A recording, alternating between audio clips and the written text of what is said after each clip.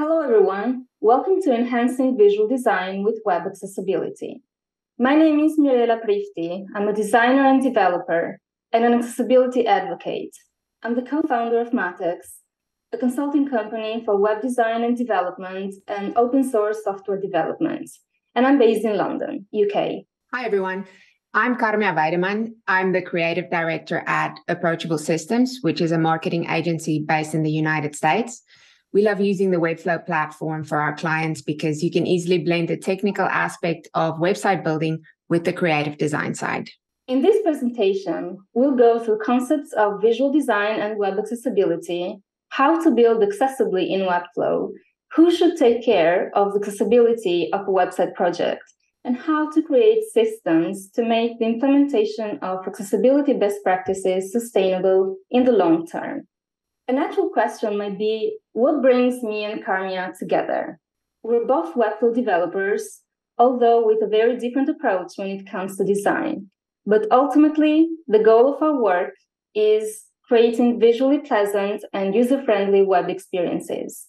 And for both personal and professional reasons, we believe that the way to achieve this is through accessibility. And now Carmia is going to show her experience and perspectives when it comes to design and web accessibility. Today, we will talk about visual design and accessibility and how the two complement each other. So, firstly, to explore the relationship between the two, we need to understand what they represent. Visual design is a way that we communicate. We do so by using visual elements such as layout, color, typography, icons, and illustrations. And through these elements, we evoke emotions within the user that may include fear, happiness, trust, or surprise. Moving on to web accessibility. What is web accessibility? It's a term we hear all the time these days. So, what is it? It is the practice of making sure that your website can be used by as many people as possible. The more accessible your website is, the more users it will reach because you will be catering to a larger and more diverse audience. So now that we know what both of these terms mean, I would like to present you with a simple question. Are visual design and web accessibility mutually exclusive? Can we achieve an optimal web design without using them together? So, before you answer this question, I would like to show you a couple of examples on how we can check and review the accessibility of our designs. So, how does Webflow help connect visual design and accessibility? Webflow has a couple of native tools that help web designers and developers achieve this perfect blend between design and accessibility. So, in the next couple of slides, I will show you examples of how Webflow helps us. First, I will show you the color contrast checker. I use this quite often, so it's a great way to check your design's text contrast. If you have a look above your color swatches on the right, you will see an eye icon and the phrase contrast ratio. So with your text box selected, you will see a rating. The best rating to have is three A's. And on the opposite spectrum of that is a fail rating, which surprisingly is not ideal for an accessible web design. So you can play around with your color and select the circle that you see within the colors. Move your mouse below the lines, above the lines, in between the two lines. And then you will see that you get a pass rating when you're in between those two lines. And that is ideal. And that's what we would like for our design and for accessibility. So, similar to the color contrast checker, Webflow has a color blindness checker where you can view your site through a lens that takes certain colors away and it even has a blurry vision lens. This makes you view your site through the eyes of a visually impaired user, and it gives you valuable insight on whether your fonts are readable once they get blurry. So, a lot of the times you will find that your text probably needs to be bigger after you do this blurry vision test. For users that rely on screen readers, this next tool is extremely important. Webflow has included an audit panel where we can see where we are missing image alt text and where we skipped heading levels. If you follow this audit panel, it's a great way to improve your site's performance on Google. And also by adding descriptive alt text to explain your images means that the user will have the best experience. And as a bonus, it also helps boost your SEO value for your site. Forms might be the most valuable feature that a website can have. We receive important leads through them, and we need to ensure that they work 100%. This includes making them easy to understand and to complete for a successful submission. So, as someone who struggles with focus sometimes, I can definitely see the value of leaving a little reminder above my type field of what I'm supposed to be filling in versus the opposite of where the placeholder text disappears when I start typing. So I think it's definitely important to label your form fields. It's good for design and it's essential for UX. On to my last tool that I'd like to share with you. Mobile readiness is something I focus on quite heavily for my web performance. Coming from South Africa, I know that not everyone has access to a desktop and mainly gets their information through mobile phones. So Webflow has responsive design and it gives you the ability to individually edit your mobile, tablet, and desktop designs. So I would like to get, hand this over to Mirela now. So we just heard Carmen's experience with how she uses Webflow's native tools to make her websites more accessible. But what happens when we work with a larger team where the responsibility lines might be more blurred, and who should be in charge of accessibility in that case? To shed a bit more light this, to this question, I've created this simple graphic where I've included a few aspects of web accessibility and the three main roles that are involved in a website project. There are so many aspects of accessibility that might go from content creation to development, and so are typically the number of people involved in a website project. So, for example, the person who is in charge, the copywriter that might be in charge of writing and curating a blog post, should also take care of the alt text of the images that are part of that blog post. And the person who is in charge of the Webflow project makes sure that the alt text is properly set to the project. Now, this might be an ideal situation, uh, but the idea is that accessibility is a team effort.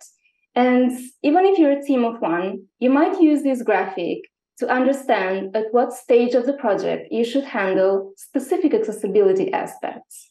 Moving on, I believe that it's important to create systems that support and facilitate accessibility for our projects in the long term.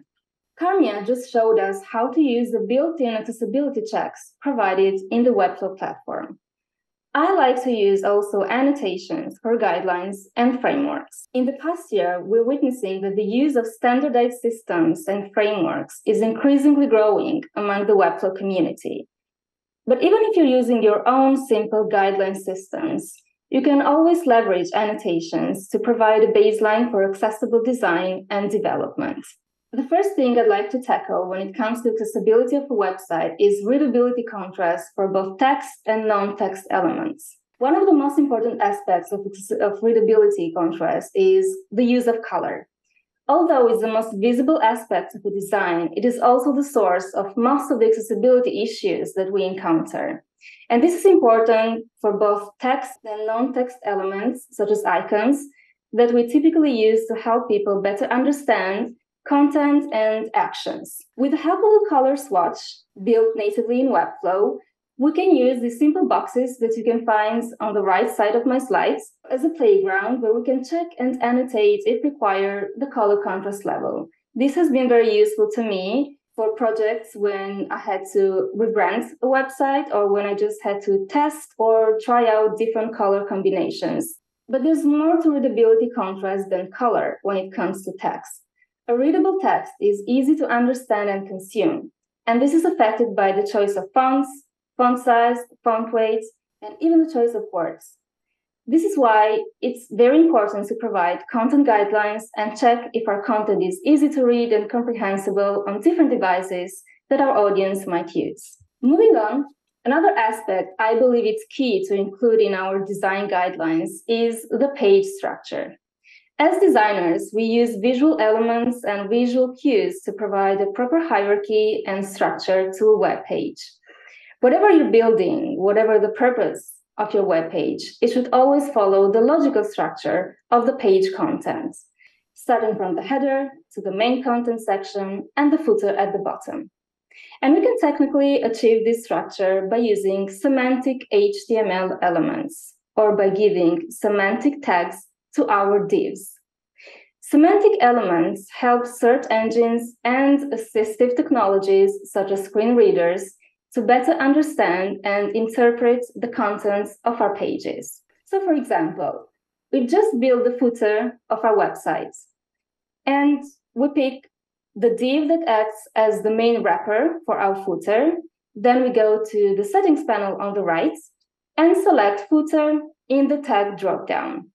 As you can also see on the right side of my slide, where there is also a representation of how typically should, should be set the semantic structure of a web page. Including these types of information and higher level patterns in our guidelines or documentation helps designers and developers make more informed decisions without ending up building randomly because of a lack of a documented and practical process to follow. The next aspect I'd like to mention is about ARIA attributes applied on interactive elements. ARIA stands for Accessible Rich Internet Applications. And with interactive elements, we mean links, videos, form controls, models, and so on. ARIA attributes communicate information about interactive elements to assistive technologies. Most of the native interactive elements and components in Webflow are already accessible. However, oftentimes we are required to build custom components for our projects, and one of the most common ones are models. For example, the first thing we do when building a model is adding a link element to the canvas, which acts as a trigger for the model to open. Then we build the rest of the components. Link elements are used to take you to another web page or to another section within the same page. In this case, we're using it as a button. So we need to give it the role button. And we can do this by selecting the link elements. Then we go to the settings panel on the right to find the custom attribute section that you can also see on the right side of my slide. And there we add the attribute role and right button in the value field. But we also need a description of what happens when we click on that button. And for this purpose, we can add an ARIA label attribute and type open model in the value field or something more specific based on the context. As easy as it may seem, implementing uh, ARIA attributes they can be very complex and challenging sometimes, and I strongly recommend relying on the official documentation provided by WebAIM before using them. WebAIM stands for Web Accessibility in Mind and is the organization that establishes the guidelines and recommendations for web accessibility at an international level. The last thing I'd like to talk about is animations and motions. This is a very sensitive topic in the Webflow community and some people love them, others are against them, and some others might just find them annoying. I believe we all agree that sometimes animations and interactions dramatically improve or enhance user experience. Other times, they might get in the way of a good UX or just be irrelevant without adding anything of value. When choosing animations, it's important that we do not rely mainly on our personal preferences there should be a thought process behind that goes beyond aesthetics reasons. And that's why it's important to provide a baseline for accessible animations and interactions. We should make sure that the content would still make sense even without animations on a page, or where possible, provide a functional, non animated alternative to our users. One thing to consider is that Windows and Mac operating systems provide us with the ability to disable animations on a system level. So if you're a Windows user, you can do this by going to system settings, then go to accessibility, click on visual effects, and there you'll find the option to enable or disable animation effects. If you're using a Mac computer, you need to go to system preferences, accessibility, then among the display settings, you'll find the option reduce motion. If you have a page or section that will break or just not make sense without the main animations applied, with a little bit of custom code, you can still provide a working version of your section to the people who have disabled animations on their devices. And by working version, I mean an alternative that might not necessarily be without animations at all, but with a smoother animation version that would not cause trouble or annoy anyone. Having said that, it's not easy to make everybody happy at all times with our work. There are always going to be trade offs, and there are no perfect ways to build animations or interactions, just like there's no such thing as building 100% accessible websites all the time. However, I'd like to leave you with the quotes, and then you can draw your own conclusions.